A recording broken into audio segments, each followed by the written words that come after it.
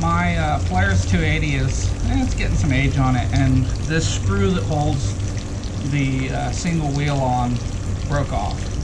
So I'm gonna try and get this out so I can replace it.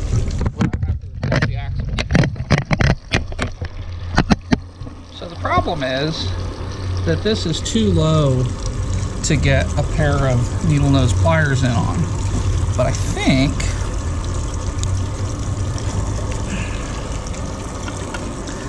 think I can get in here with this.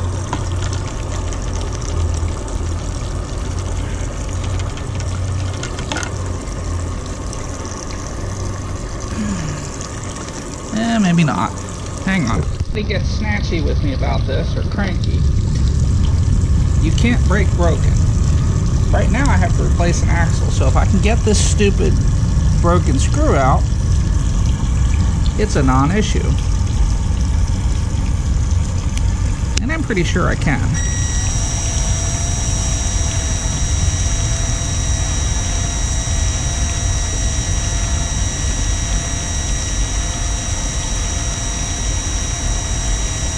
The trick is to go slow.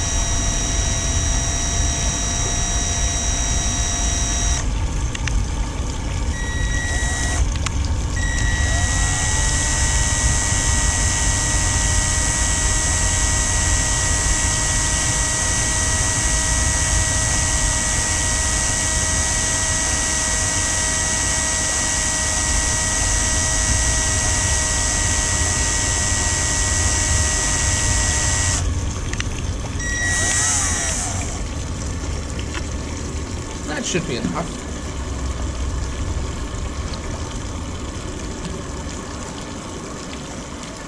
Now, this Torx bit isn't exactly an easy out, but it might do the same thing. There we go.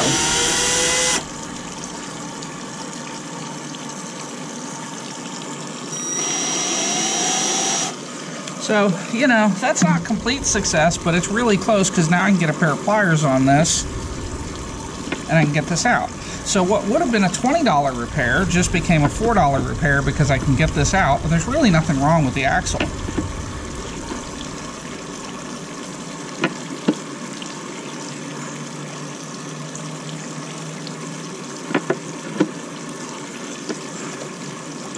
All right, so there you have it. Thanks for watching. I hope you found that helpful and useful.